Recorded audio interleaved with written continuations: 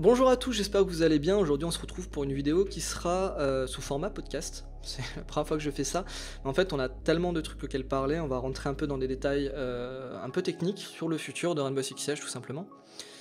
Euh, donc, le pourquoi de cette vidéo, c'est parce qu'on est monté, enfin, sur invitation d'Ubisoft le 12 de ce mois-ci pour discuter en fait un peu avec Ubisoft France du jeu, de ce qui va arriver. On a pu tester la nouvelle opération. Euh, et donc c'était assez important pour moi de vous faire un retour.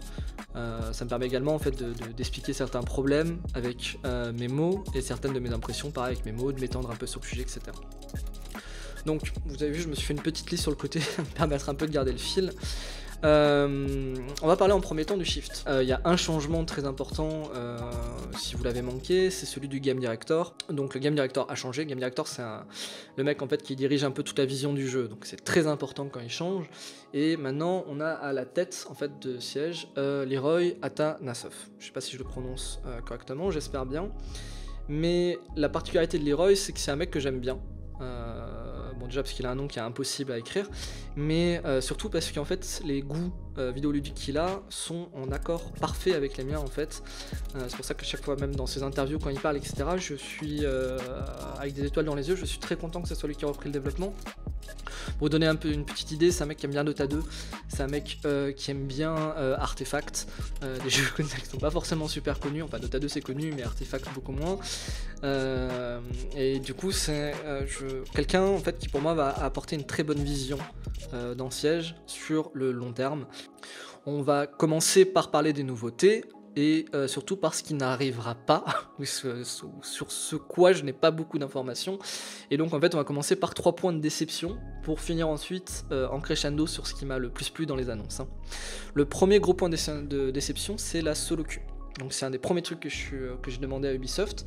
C'est ok les gars, est-ce qu'on va avoir un jour la possibilité de tag en solo en équipe et ne pas tomber euh, contre des escouades de 5, ce qui est une clé. Et ce qu'on m'a dit, c'est bah, c'est probablement en discussion en interne, mais pour l'instant pas d'infos. Donc, euh, traduction, euh, l'année 5, je pense qu'on peut mettre une croix dessus. Pour avoir de la solo l'année 5, l'année 6 peut-être. Mais on sait même pas si ça va arriver sur le jeu. Même souci et même rebelote pour les skins. Euh, donc ça c'était pas la deuxième question la plus importante et c'est pareil c'est ce que j'attendais le plus. Mais je me doutais que ça arrivera pas cette année hein. en fait dans le siège alors j'ai vu que ce problème là il est pas forcément connu de tous les joueurs en fait, notamment des joueurs casuaux c'est un problème qui est très connu par les joueurs compétitifs et c'est un problème qui est très critiqué et très important pour nous. On va prendre juste Battlefield. Les joueurs en fait les personnages ressortent du décor parce qu'il y a un effet de contraste dessus euh, c'est agréable parce que t'es pas là en train de te demander mais je me suis fait shooter par une plante ou un truc comme ça c'est pas du tout le cas dans Siège. Dans Siège, le problème c'est qu'il y a beaucoup, beaucoup, beaucoup, beaucoup de détails et les joueurs se confondent très très bien avec les décors. Et le problème s'amplifie énormément avec en fait les skins. C'est-à-dire que prenez des skins style euh, ceux de la saison Barrai, ceux de la saison Win Bastion, le skin Twitch Elite, euh, le drone de Twitch il est invisible. D'ailleurs ces skins sont interdits en ESL hein, pour vous donner une idée de à quel point c'est fort. Et ça fait que des fois en fait dans certaines situations on ne peut carrément même pas voir le joueur. Je veux dire il est euh, parfaitement confondu avec le mur, c'est extrêmement difficile de le voir et donc ça donne un avantage.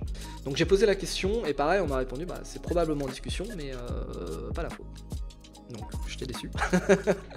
J'étais un peu déçu là-dessus. Au niveau du cheat, en revanche, c'est différent. C'est pas un point de déception, mais c'est plus un point où je n'ai pas d'information. Donc on en a parlé. Euh, de toute évidence, en fait, le cheat est un problème majeur à l'heure actuelle sur Siege, parce qu'il y a euh, beaucoup trop de cheaters. Alors ça se ressent pas forcément dans les bas Elo, mais quand vous arrivez en Elo Diamant Champion, euh, vous pouvez parfois faire 3 games d'affilée avec 3 games avec des cheaters et parfaitement obvious. Parfois ils prennent du temps pour se faire ban, c'est très frustrant. Et en plus, quand ils se font ban, il y a le système de rollback MMR en fait qui euh, peut t'enlever des points. La logique derrière, elle est pas, c'est pas du tout illogique de pourquoi ça t'enlève des points, de pourquoi ça, ça, t'en augmente. Mais euh, le résultat, il est indéniable, c'est que c'est frustrant pour les joueurs. Euh, le cheat et le système de rollback de MMR et donc c'est un problème et donc on m'a dit bah pour l'instant j'ai pas l'information à donner là-dessus par contre voilà en toute logique c'est top priorité pour les équipes de développement donc ça va bouger passons maintenant sur les trucs pas mal qui vont arriver et surtout le développement. Donc non, si vous avez suivi le panel, il va y avoir moins d'agents maintenant. C'est-à-dire que le rythme va ralentir sur les agents et tout ça pour passer sur du quality of life. Alors quality of life c'est quoi? C'est tout simplement, euh, alors c'est pas des subsystèmes, c'est pas forcément lié au gameplay, c'est ce qu'on appelle le confort de jeu, la qualité de vie du jeu, c'est-à-dire, bah, par exemple, quand vous cassez une barricade, le fait que maintenant, avec la nouvelle saison, euh, il n'y ait plus le bug avec un débris qui peut rester coincé dans la barricade, ça, c'est une amélioration du quality of life. Euh, quand on va améliorer l'interface utilisateur, c'est une amélioration du quality of life. En fait, c'est le confort de jeu. Donc ça, c'est une très très bonne chose. Moi, ça fait 4 ans que j'attends cette annonce-là. Actuellement, en fait, on a des modes de jeu saisonniers qui peuvent apparaître, Rainbow Six Magic, les événements Halloween, etc. c'est des modes de jeu qui jusqu'à présent étaient essentiellement centrés sur des skins euh, sur des skins de maps, sur, euh, etc. pour ajouter du fun.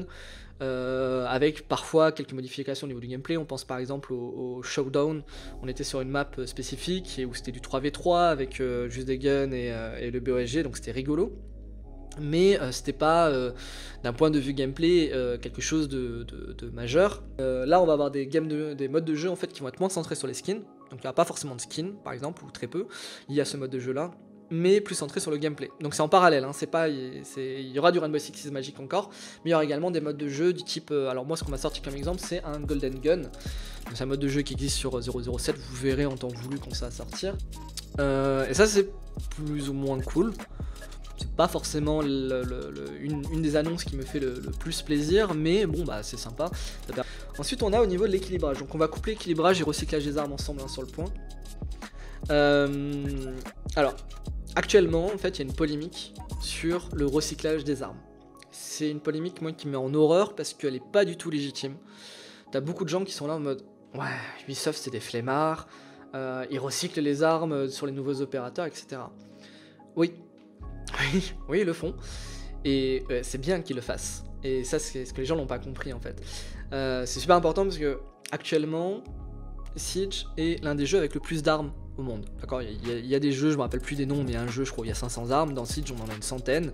Proportionnellement par rapport à énormément de jeux, c'est énorme en fait. Et ça pose un énorme problème.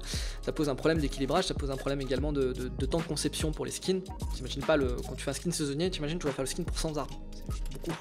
Cette polémique-là, elle vient surtout du fait que les joueurs ont été habitués au fait qu'à chaque nouvel opérateur, t'aies une nouvelle arme. Et justement, en fait, euh, s'ils recyclent des armes, c'est notamment pour améliorer l'équilibrage de celles-ci.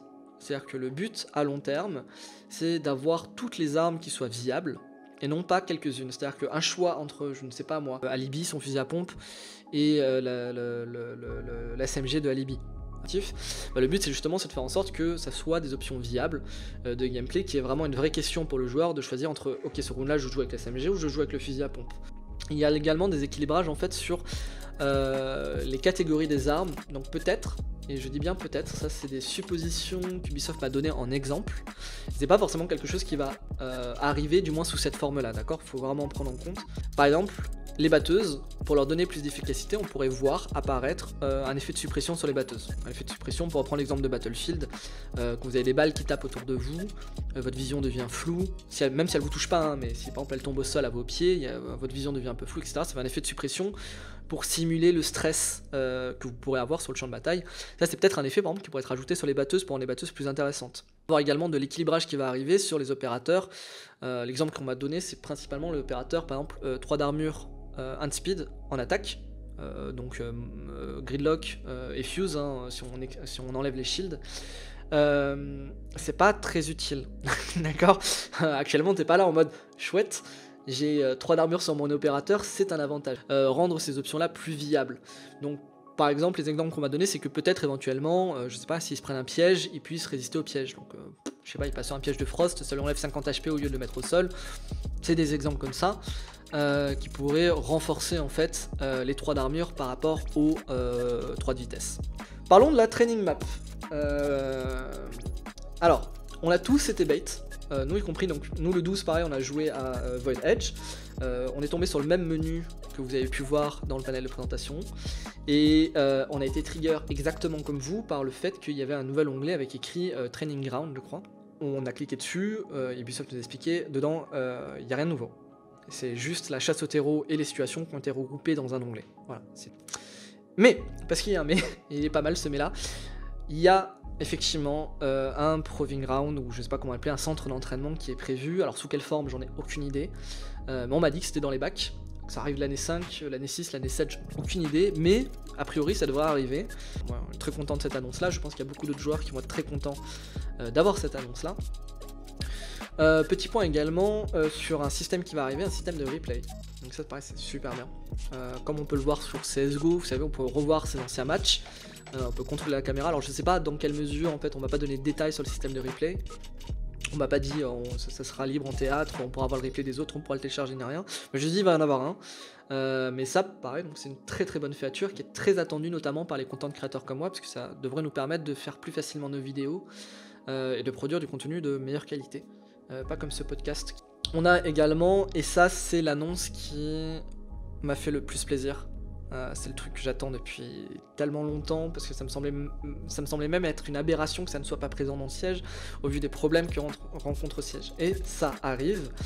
Euh, là, je sens bien qu'il y a l'inspiration de Leroy Atanas, excuse-moi pour le, pour le nom écorché, euh, mais je sens bien qu'il y a l'inspiration du Game Director, je sens bien qu'il y a l'inspiration de Leroy dedans, parce que c'est un système qu'on retrouve notamment sur Dota 2. Euh, c'est le système de karma.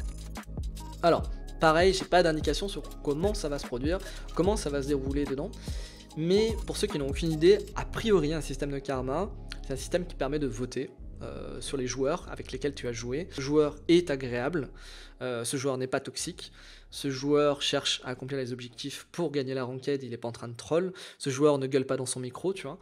Et à l'inverse, ça permet également de, dire, ok, ce joueur-là, euh, c'est un cancer, il est toxique, il arrache quitte la game, c'est un cheater, etc. Et donc en fait, ça a donné un chiffre, ça fera ton karma.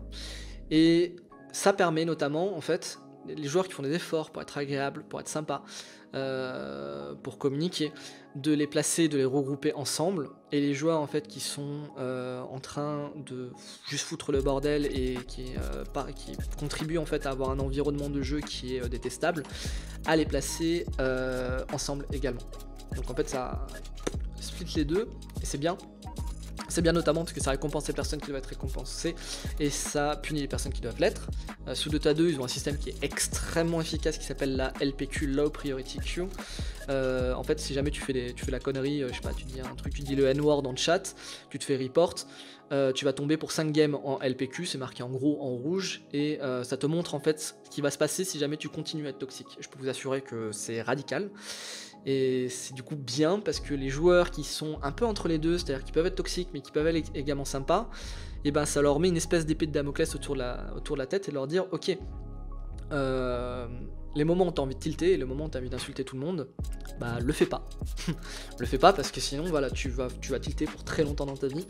Euh, donc c'est plutôt un très très bon système et je suis très content et ça va notamment peut-être, alors peut-être, encore une fois j'ai pas d'informations sur le système, aider grandement à combattre le système de triche en fait, de cheat ou simplement parce que si les joueurs mass report un cheater, euh, il va se retrouver en low priority queue, enfin il va se retrouver euh, à être tagué avec les, gens toxiques et les cheaters.